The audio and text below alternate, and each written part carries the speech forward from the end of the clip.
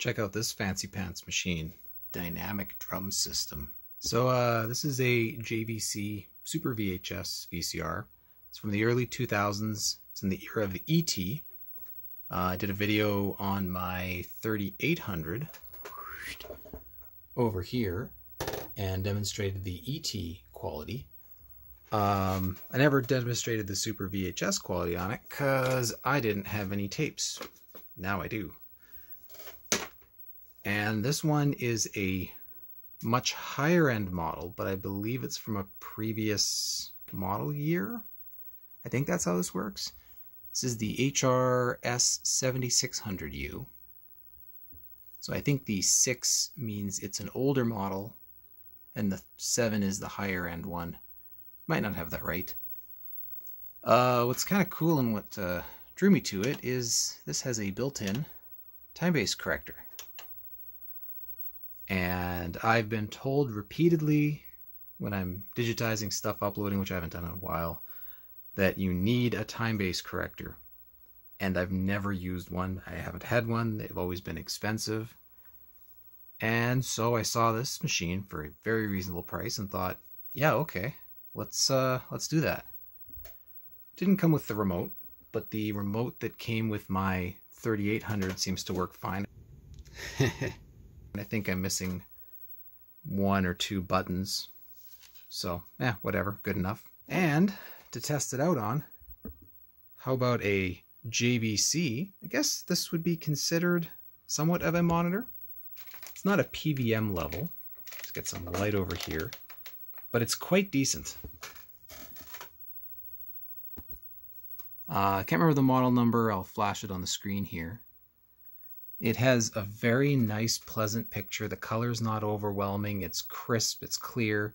It's probably not coming through in the video, but uh, I've been very happy with it. It this might make a lot of the retro game people upset, but I find it loads better than that 13FS100 that I've been using for a while.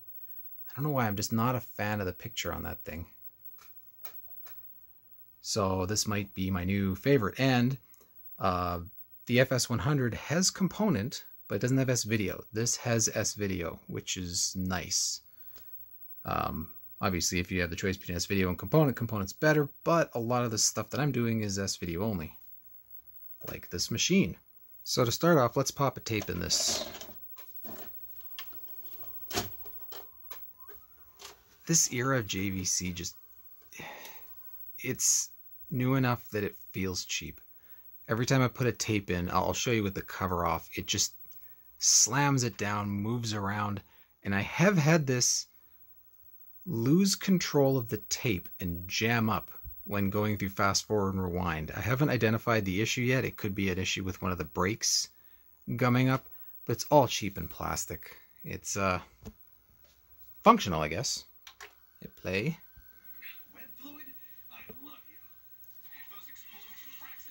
So I'm going to now identify a problem that I had. See the picture jumping like this? What I had to do, so this tape, turn the volume down.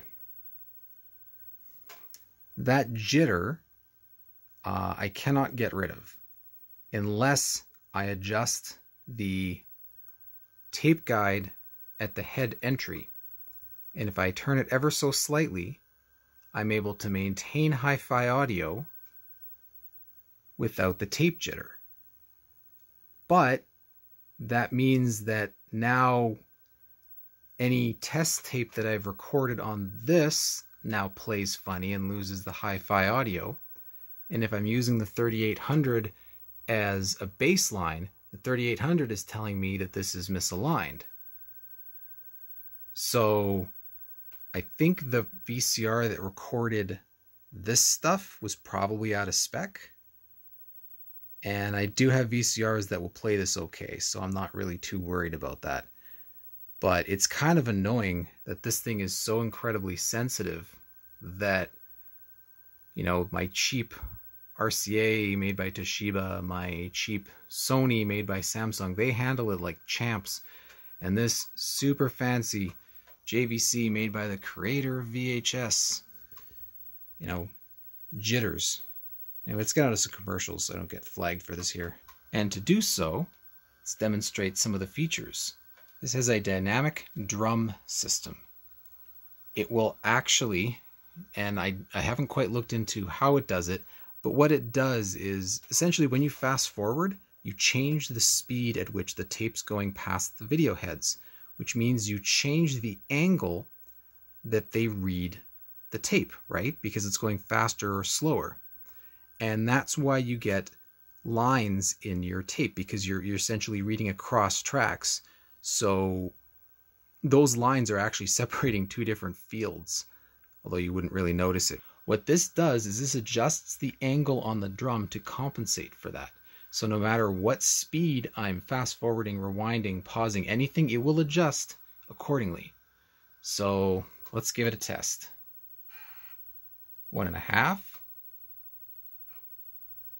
two. Now you're going to see a bit of noise on the screen, and that's just because this probably isn't the best tape for it. 5x.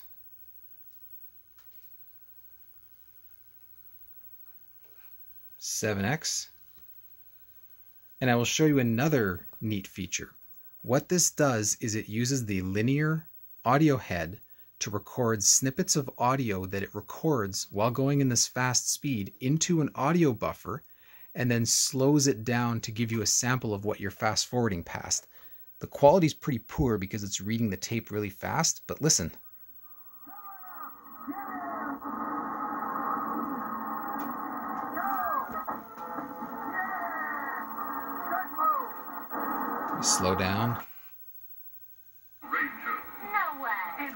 Greatest galactic battle. Come out the next day, do it again, or try to do better. A baseball show for the Fox generation.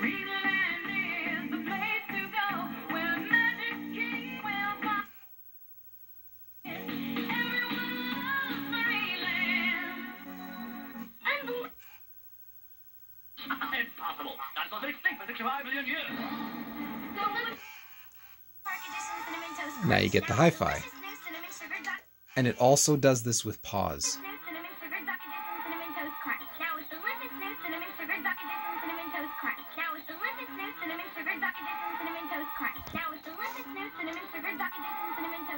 Which feels like some sort of a medieval torture device. I don't know why anyone would want this feature in pause. Pause is a please shut up for a moment. I need to figure something out.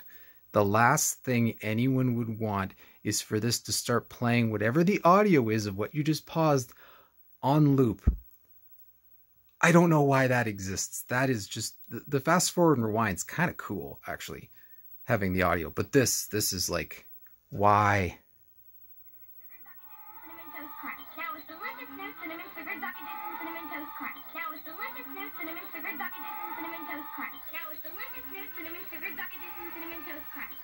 So let's take a look inside.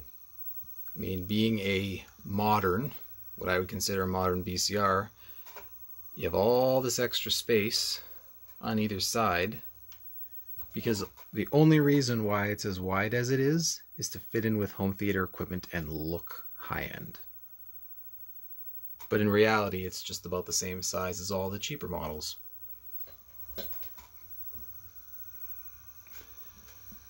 There's the video head drum spinning away. Lots of cheap plasticky bits in here. This is kind of neat. Um,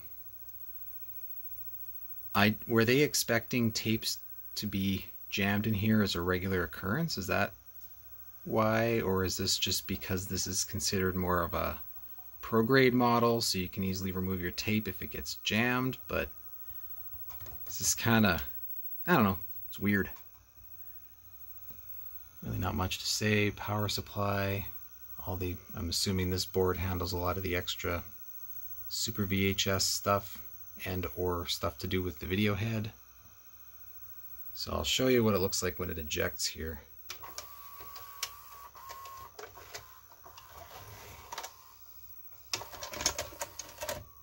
Eject is a lot more pleasant than loading. But yeah, just real real cheapy plastic, real bare bones, low cost. The head drum looks normal to me. I think the piece that changes is you see how there's this extra slit down here?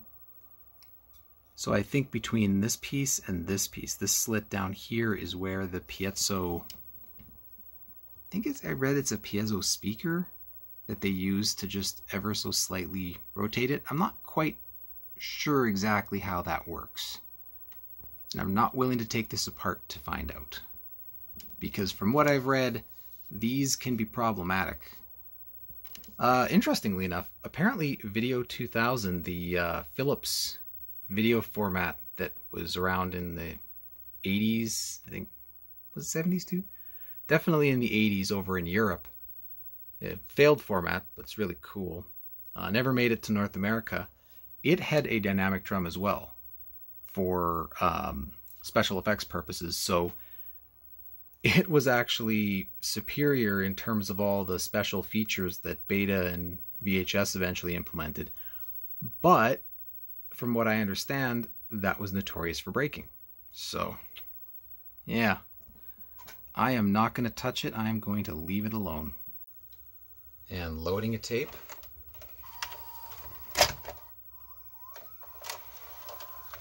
Just clunk slams it down there. So the reason I had that um, Avia DVD on screen here, um, I've had this DVD for years. It's got all the test patterns on it.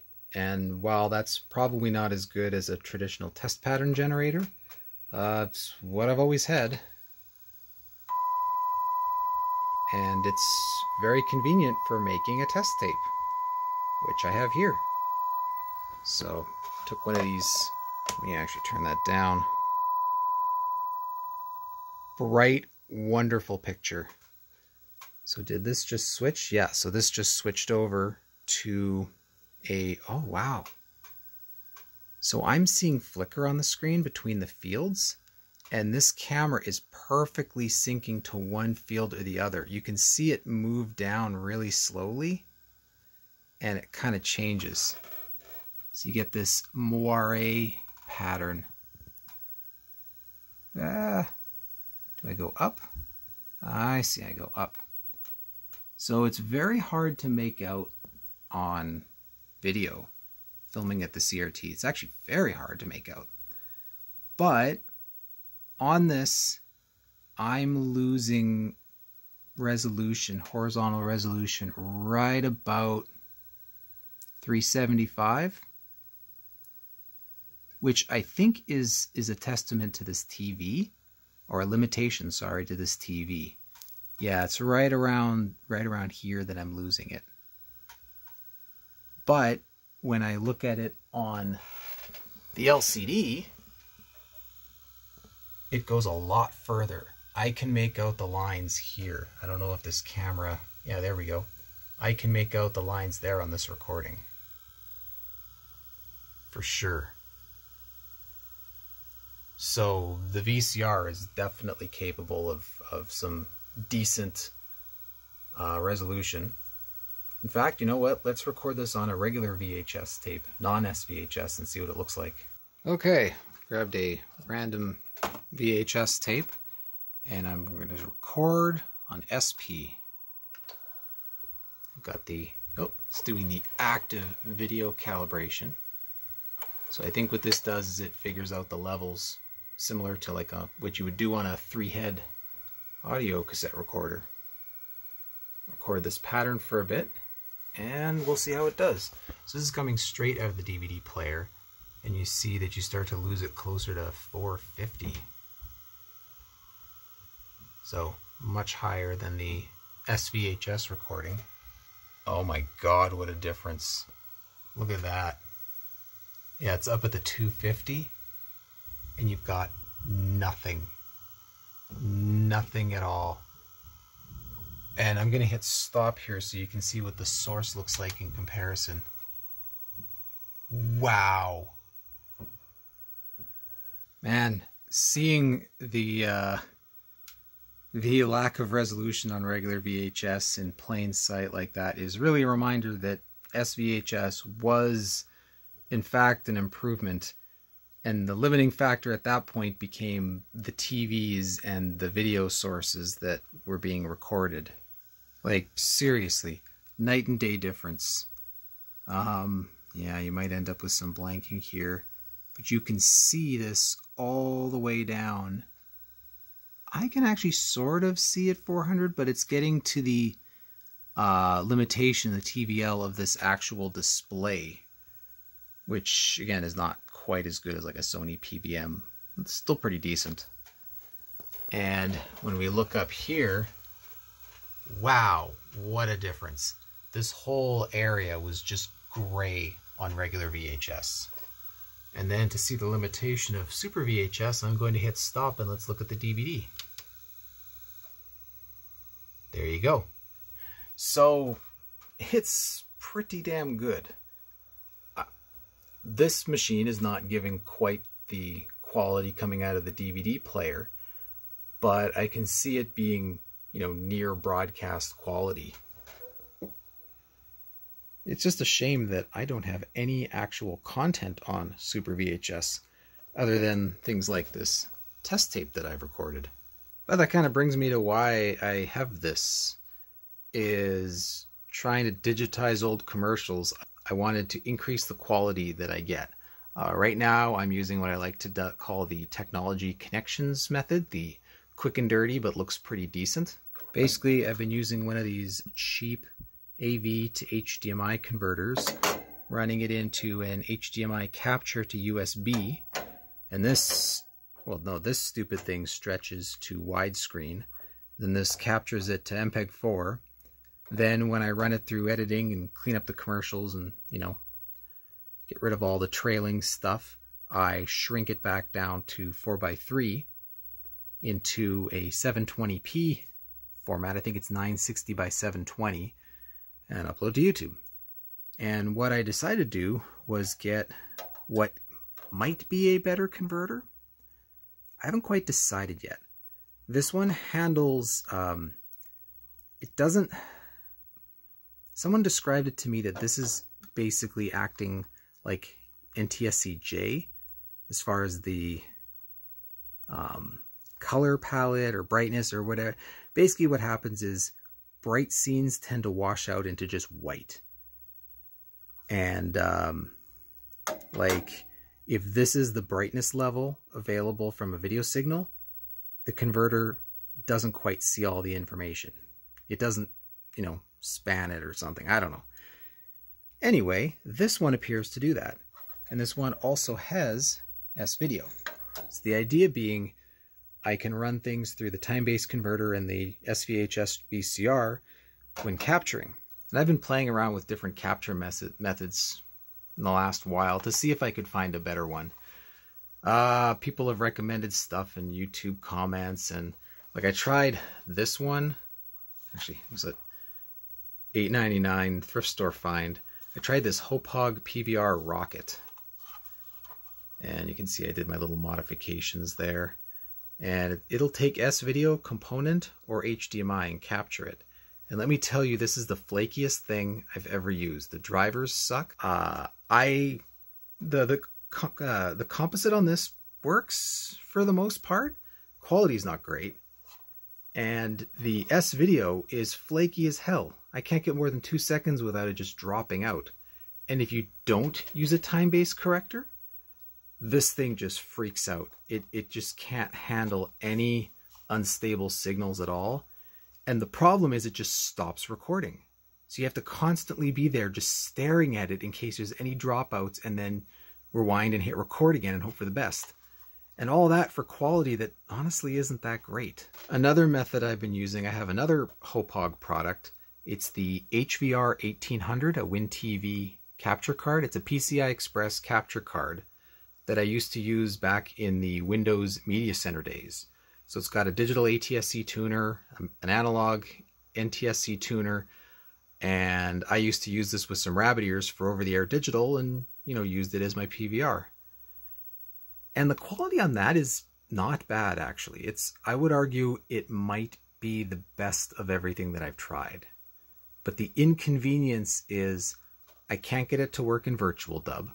I can only get it to work in OBS, but in order to get it to work in OBS, I have to sometimes open up Virtual Dub to get the driver to start.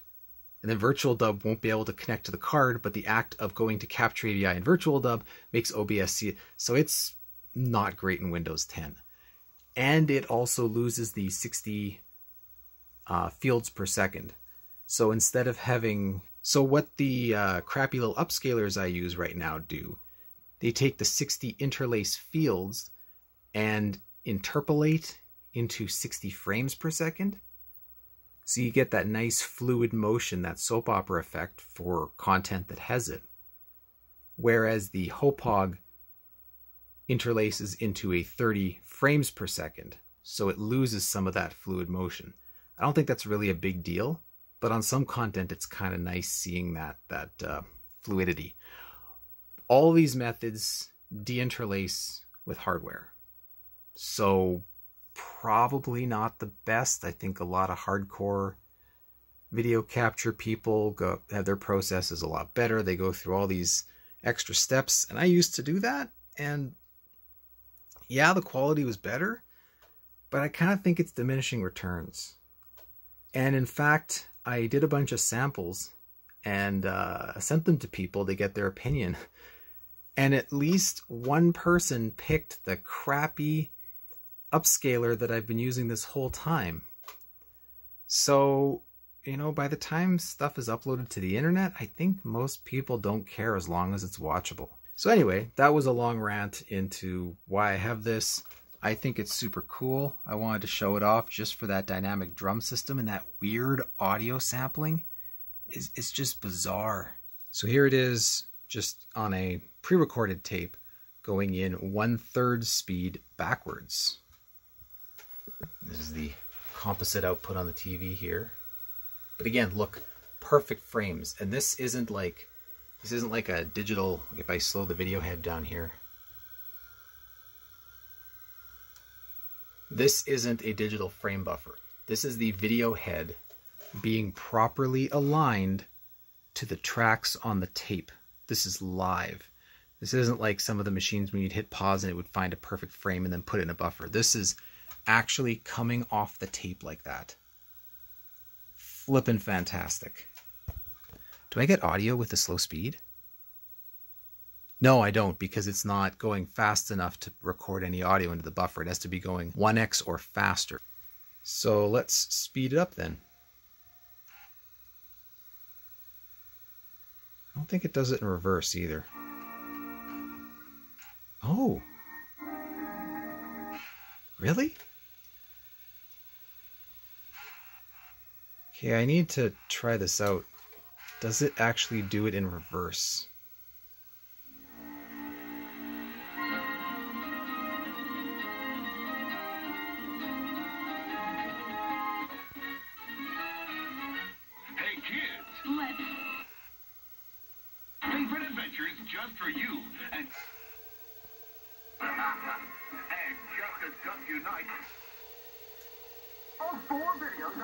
I love how the audio gets worse.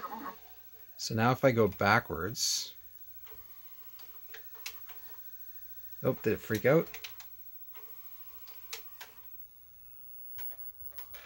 Huh.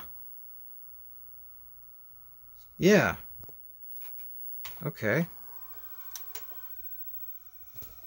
Are you all right there, VCR? Oh, that's not good. Okay, what are you doing, you cheap plasticky thing?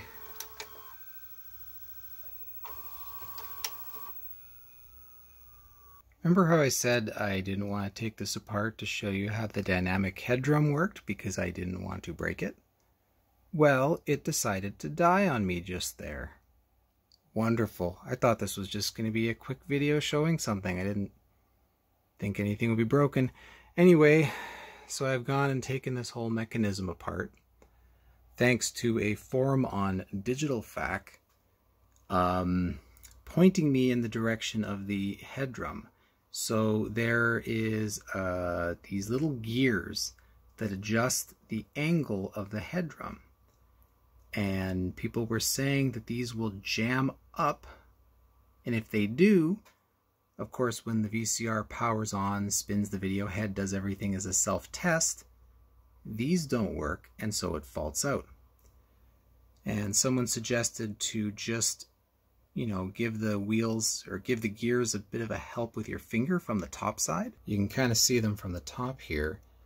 I tried giving them a spin either direction, just a gentle nudge to help. And uh, yeah, they're not doing anything. So I'm going to kind of inspect underneath to see if anything is broken or jammed. I did also notice this piece of plastic fall out, and I believe it was from underneath this mechanism. So it could be something along this whole mech down here that has broken. I haven't been able to find where I think it would go yet. See if I can find a picture of this online and maybe match up that way.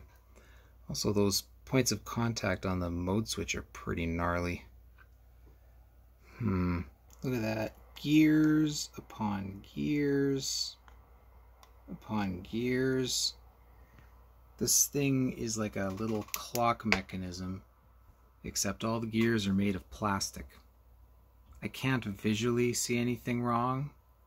Um, it's impossible for me to move the gears myself manually, so I don't know if it's something else faulting out in the machine or if it's the gears here. I'm starting to wonder if it is in fact the dynamic head drum. It kind of feels like it would be, um, given that I was using the special effects when it faulted out. However, I was also causing the, this mechanism to move back and forth into the different modes. And there's that piece of plastic I haven't been able to identify yet. Okay, so I've done some reading on this now. Some thorough reading. This was a bad system. It sounds like it's not a matter of if it will fail, but when. Cheap plastic gears that will break. And I know something about cheap plastic gears. Um, this whole machine is pretty cheap, cheap, cheap, cheap. Now, all I did was take this whole thing apart, kind of wiggle some stuff around inside, and clean the mode switch. And now when I turn it on, it makes the little beep boop of the motor in the dynamic drum system doing a self-test. Uh-oh. That's what it's supposed to do, I believe. And if you notice now it's not shutting off on me. But I think I'm kind of playing with fire with that dynamic drum system. So I don't know how long this machine's going to last. I don't think I'm going to play around and be all silly like I was doing earlier in the video as much as I really want to show those features off because that is that was just cool. It looked fantastic. But I think for now I'm just going to be very careful with this machine and really only use it for playing. That's it, just playing. And I'm not going to go all crazy with my little jog wheel, as tempting as it is. Let's take a look at that tape eating problem I was talking about.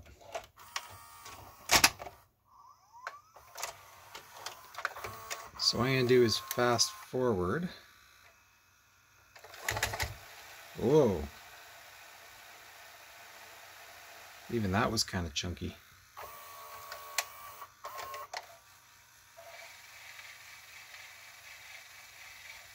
Actually, no. Whoa, see? There. Just did it. This spun way out. I got all this extra tape in here. So when it comes time to play, this hasn't tightened up. Now when I hit rewind, is it going to suddenly go bang and go back in?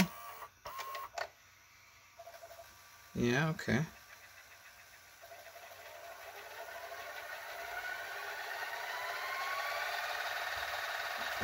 Let's stop. That's good. Let's try fast forward again.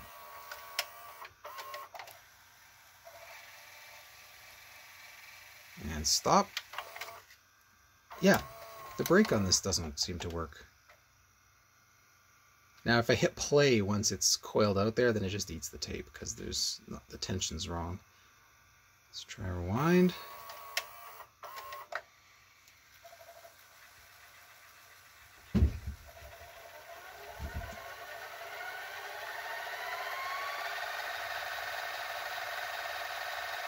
So it seems like the brake on this spool is working.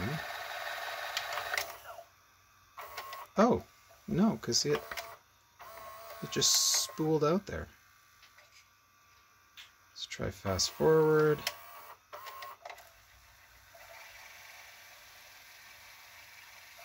Get up to speed. And stop.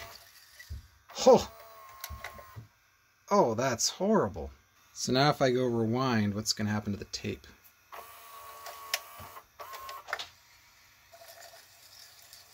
Oh. What a mess. Alright.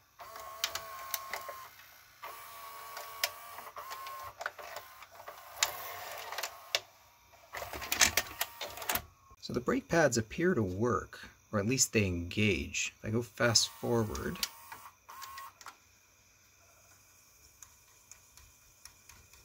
get it to spin up to speed here.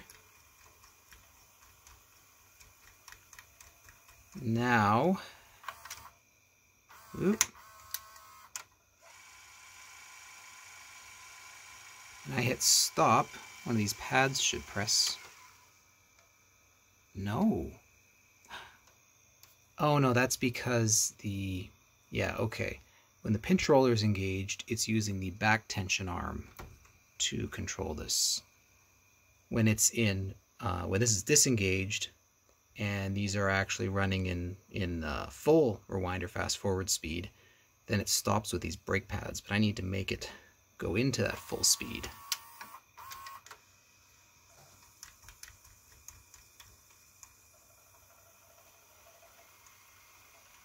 Okay, now we'll hit stop.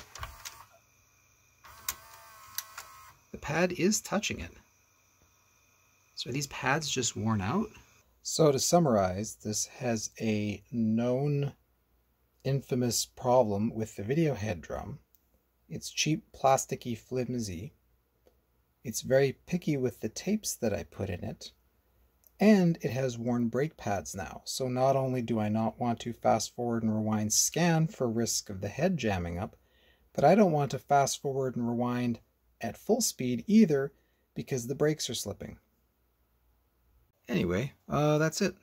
Thanks for watching. I'll put some uh, example captures at the end of this just to show the quality on this and everything like that.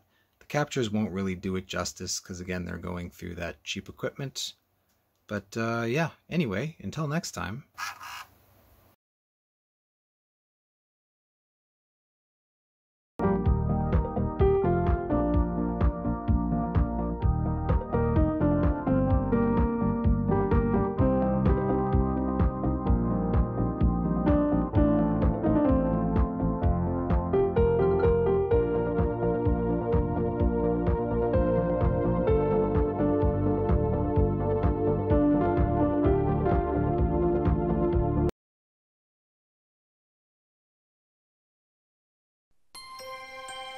MGM means great movies. Let's get going! I got an idea for a movie.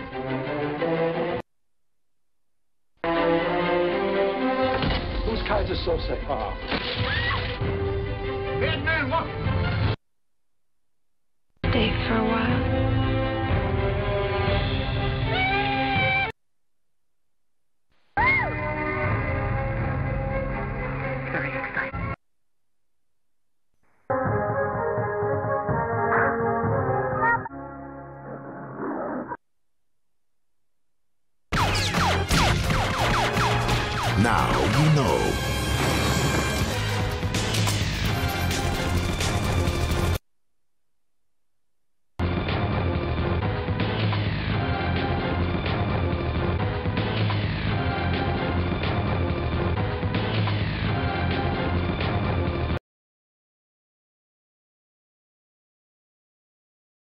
We've got Christmas presents in store for you. Just look what's under the tree on MTN. Light up someone's Christmas with this Lucite chandelier and save $100 now till Christmas. Or take home these halogen desk lamps by Danalite from $59.95 at Superlight 1901 Logan.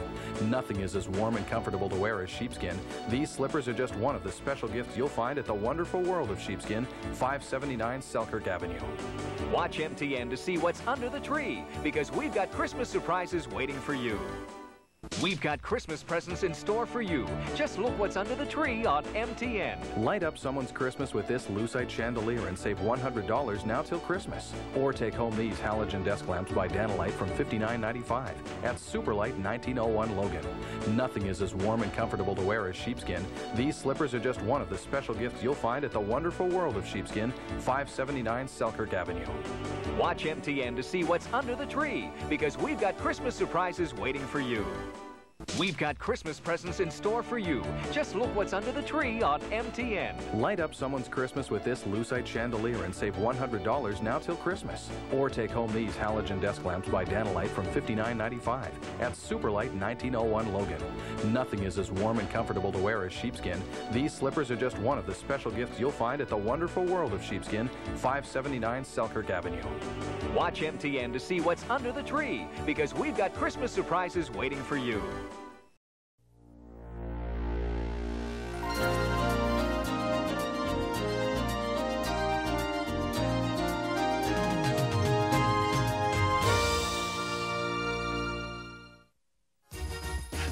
Coming soon to video.